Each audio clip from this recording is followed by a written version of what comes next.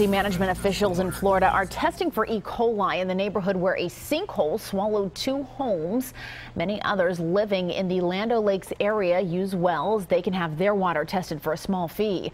This 225 foot wide sinkhole opened up Friday morning and also took with it a boat.